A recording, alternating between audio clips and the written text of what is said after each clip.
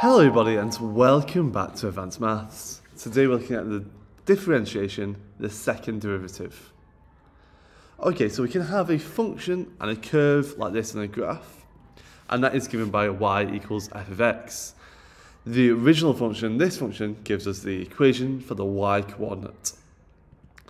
We can then differentiate that, and the derivative, the first derivative, tells you the gradient of the curve at any point tells you how fast it's increasing or how fast it's decreasing.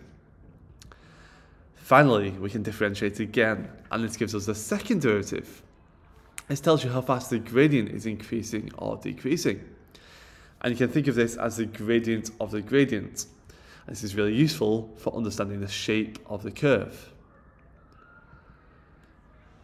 So, uh, curves can have either different shapes. They can look like this, and look at the gradient here. The gradient is going from a gradient of 5 to a gradient of 2 to a gradient of 0, minus 2, then minus 5. The gradient is gradually going down. Going from a big number to 0 to a small negative number. And this means that the gradient is decreasing, and therefore the gradient of the gradient is negative. The second derivative will be negative because the gradient is decreasing. We call this concave down, where the curve is bending downwards. Or we can have a curve like this, where the gradient starts going downwards, a gradient of minus 5, then minus 2, then 0, then 2, then 5, and it gradually bends upwards. Here the gradient is increasing, it's going from negative to 0 to positive. And the second derivative will be positive. And this is called concave up. Notice the symbol we use for the second derivative, d squared y over dx squared. The squared is in the middle at the top, but it's on the end at the bottom. It's a bit of a weird symbol, but that's how mathematicians write it. And so we can have concave down, where the curve is bending downwards, or concave up, where the curve is bending upwards. Notice that when it's concave down, if there's a turning point, it will be a maximum, whereas if it's concave up, the turning point will be a minimum. Look at those two coordinates that I've pointed out with those x's there. Uh, they are maximums or minimums. It's a maximum if it's concave down. It's a minimum if it's concave up. That's a key fact that will help you answer exam questions. Example 1. Consider the function y equals x cubed minus 6x squared plus 3. Find the turning points of this function. Find the second derivative, and find the nature of the turning points. Okay, let's start by finding the turning points. And for this, at a turning point, the gradient is equal to zero. So we will differentiate it to find the gradient and then make that equal to zero. We differentiate it and we make it equal to zero. We need to solve this equation now. 3x squared minus 12x equals zero. We do that by factorising out an x and solving when x is equal to zero. Either x is equal to 0 or x equals to 4. We solve that by factorising. The turning points are at those x coordinates.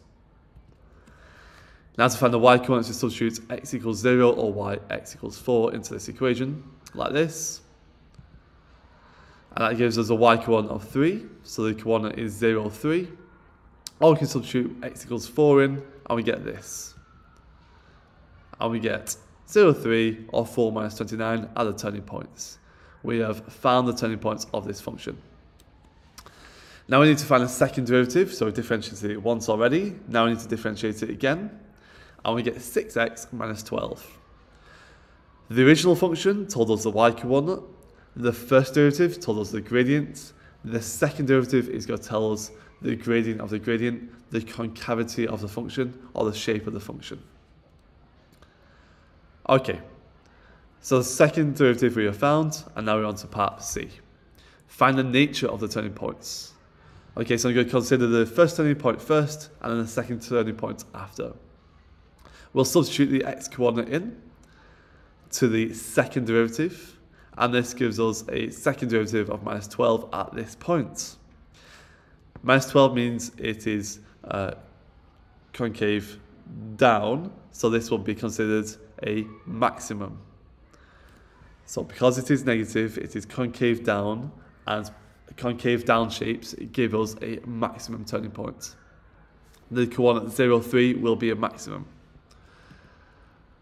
Now 4 minus 29, we go substitute x equals 4 into that, and we get a second derivative of, minus, of positive 12.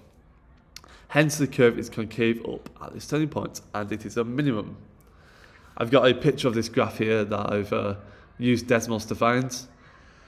And we have it concave down at 0, 3 and concave up at 4 minus 29. And it is indeed a minimum and a maximum. So it's useful to look at that picture to see what the curve actually looks like.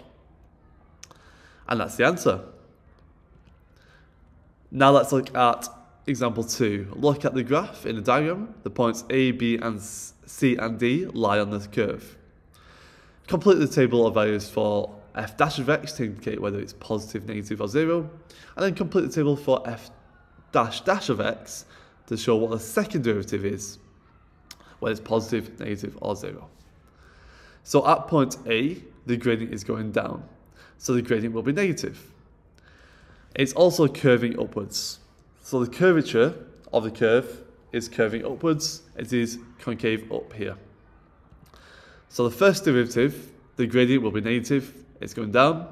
The second derivative, while it's curving upwards, it's going to be positive. The uh, concavity will be concave up. The second derivative will be positive. Now point B, this is a turning point.